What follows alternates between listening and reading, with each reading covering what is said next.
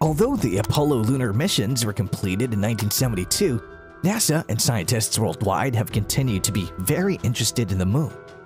On NASA's public website, Apollo consistently ranks towards the top of all search inquiries. In recent years, NASA has shipped more than 500 Apollo lunar samples to researchers worldwide for ongoing investigation. So why did NASA stop going on to the moon? When will they go back to the moon again? Let's dive into today's video to know the exact scenario. Here we go. Between 1969 to 1972, during the Apollo project, the National Aeronautics and Space Administration US landed around 12 people on the moon. However, despite various policy initiatives by American presidents, no humans have landed on the moon. Since the first moon landing 50 years ago, NASA has kept pushing the limits of knowledge to fulfill the promise of American creativity and leadership in space. And NASA will carry on with that work by going to the moon and sending astronauts there by 2024, landing on the lunar South Pole. To lead an innovative and sustainable exploration program with commercial as well as international partners to enhance human expansion across the solar system, NASA is carrying out the President's Space Policy Directive 1.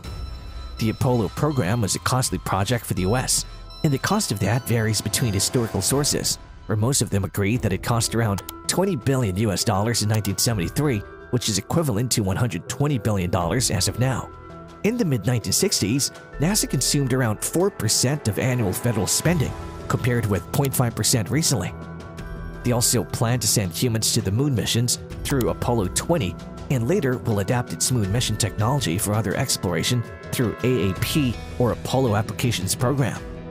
But unfortunately, congressional cutbacks in NASA allocations accelerated the end of the moon missions to Apollo 17 in 1972 and most programs by AAP were shelved except the space station Skylab.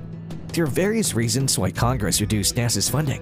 The initial impetus to land on the moon came from the space race, which was the competition between the US and the Soviet Union to show military and technical superiority to other nations. In the 1960s, the competition cooled down, removing the strategic urgency to invest in NASA. Meanwhile, other public priorities were also coming to the fore, higher among them after the first human landing on the moon on the 20th of July 1969 on Apollo 11, the public interest in space faded. In their 1997 book Spaceflight and the Myth of Presidential Leadership, space historians Howard E. McCurdy and Roger D. Launius make a further case that Apollo was born out of a special circumstance. Because he was worried about Soviet military prowess, US President John F. Kennedy specifically pursued the space program and the moon landings as one of the country's main policies. As a result, NASA and its programs transitioned to an accelerate policy with detente and have remained there ever since. NASA's goals shifted throughout the next decades following congressional demands, and its increasingly constrained funds for human spaceflight were allocated to initiatives other than moon exploration. The largely reusable Space Shuttle, whose five spacecraft completed 135 trips between 1981 and 2011, was the next significant project following Apollo. Additionally, NASA worked on several space station designs that ultimately led to its participation in the International Space Station, or ISS, whose initial components were launched in 1998. The International Space Station, or ISS, was advertised in part as a science laboratory and part as a platform for global politics, particularly about Russia, which at the time was a newly independent country emerging from the demise of the Soviet Union. Over the years, additional moon endeavors have been presented by three presidents, but the majority of these plans were shelved owing to financing issues and decreasing congressional support. Will NASA ever return to the moon?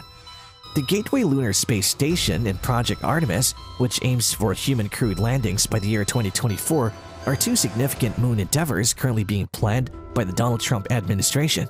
According to Jim Bridenstine, the administrator of NASA, the fresh moon landings planned for Project Artemis could cost the agency between $20 billion and $30 billion in 2019 dollars. That would be significantly less expensive than Apollo's estimated $115 billion price tag. No country in the 1960s, outside the United States and the Soviet Union, had space programs developed enough to contemplate sending people to the moon. However, in recent years, nations such as China, India, Japan, Russia, and those that are part of the European Space Agency have all made public assumptions about potential moon landings. For the Artemis and Gateway partnerships, NASA is looking for ISS partners. low Earth orbit is about to become commercially viable, according to NASA. Through these collaborations and experiences, NASA can return to the moon in 2024, this time for an extended period, leading an international group of countries and businesses. American businesses can supply the International Space Station thanks to NASA's ambitious commercial resupply program. With the help of NASA's Commercial Crew program, travel to the space station in low Earth orbit will again be safe, dependable, and affordable from American land. This endeavor will inspire the following generation, introduce fresh information, and present new opportunities.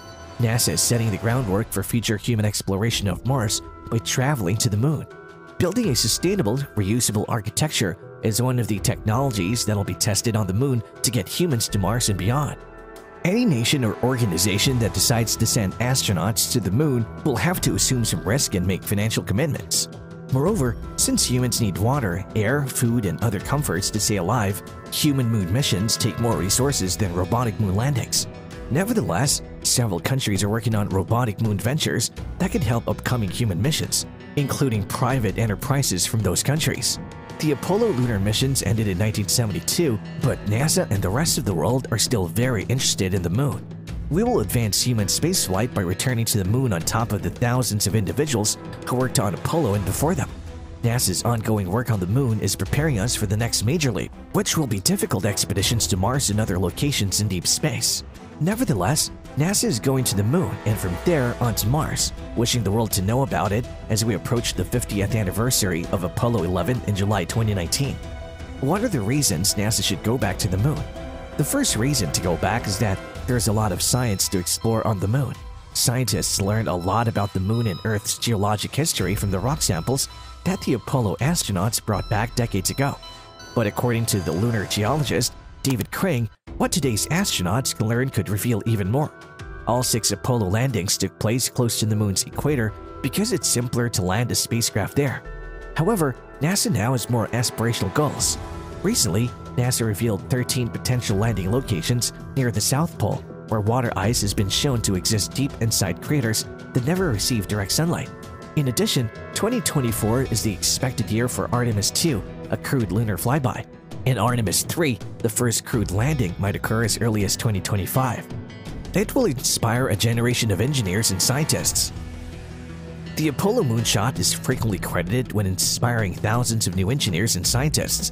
Despite the impossibility of quantifying figures, a 2009 poll of 800 researchers found that a significant portion of today's scientists who have published in Nature in the last three years can be attributed to the moon landings for their inspiration. According to Hardgrove of ASU, we're going to have almost live video from the moon's surface with Artemis, and people will think about the moon as a genuine place. He adds that he thinks it can be inspiring, perhaps not just for people like me, but also for people who are not considering engineering or space exploration as their career. Also, it works as a stepping stone to Mars. According to Hardgrove, Mars is around 200 times farther from the Earth than the Moon, making it extremely difficult to protect personnel from radiation exposure. There are two-year launch windows to reach Mars, he claims.